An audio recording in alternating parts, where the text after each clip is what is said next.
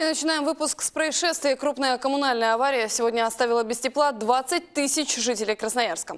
На улице Дубровинского в районе коммунального моста прямо на проезжей части прорвало трубопровод. Аварию ликвидировали более 9 часов. На месте организовали оперативный штаб. За ходом ремонта следили чиновники и спасатели. С места события наш репортаж Виктории Лопатайте. Отойдите от! Тяжелой техникой рабочие пытаются добраться до места порыва. Труба на Дубровинского лопнула в 4 утра. Тогда же на место выехали первые оперативные бригады.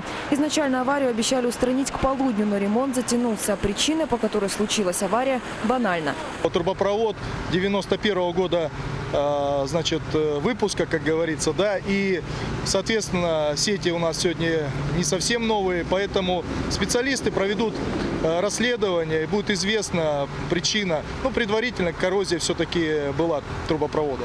Трубы хоть и регулярно обследуются, но без форс-мажоров все равно не обходится. На то, чтобы залатать все дыры и заменить коммуникации, в городе нет средств. И теперь самое главное – быстро устранить аварию. На месте сразу организовали оперативный штаб, спасатели, чиновники, депутаты и ремонтные бригады. Одни пытаются устранить порыв, другие контролируют, чтобы эта ситуация не вывела из строя работу всей теплосистемы.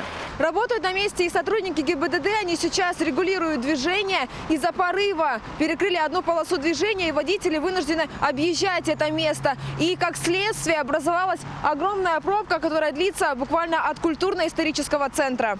Из-за аварии сегодня без тепла остались 128 домов. Кроме того, отопление перекрыли и в несколько социально важных объектах центрального района – детский сад, школа и больница. Мы узнали, как обстоят дела в детском саду. В службе 205 нам пояснили, горячая вода есть, отопления нет. Но к 4 часам все устранят. За детей можно не переживать. Сегодня работают по теплу. э, До, 14, до 16 часов должны там устранить все. И, в принципе, должно появиться. Там отопления нет. Сам порыв устранили ближе к двум часам. Осталось только привести в порядок перекопанную дорогу. Всего без отопления жители центрального района просидели почти 9 часов.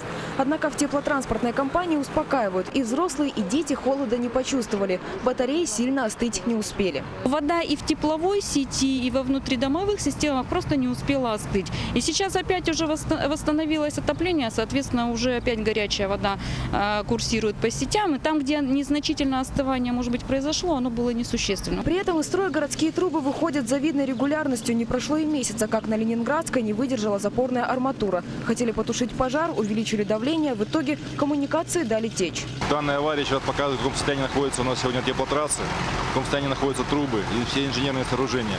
Поэтому, конечно, нужно подходить к этому делу очень серьезно, нужно изыскивать деньги и все это ре- ремонтировать, делать все необходимые работы вовремя. Потому что если мы не будем ничего предпринимать, то через какое-то время вот такие аварии станут у нас ежедневными. Все прекрасно понимают, что с изношенными трубами хорошее хозяйство не построишь, но и отремонтировать их – не минутное дело. Если уж надеяться на надежность не приходится, то остается только уповать на скорость ремонтных бригад. Виктория Лопатайте, Дмитрий Яковлев, Афонтова. Новости.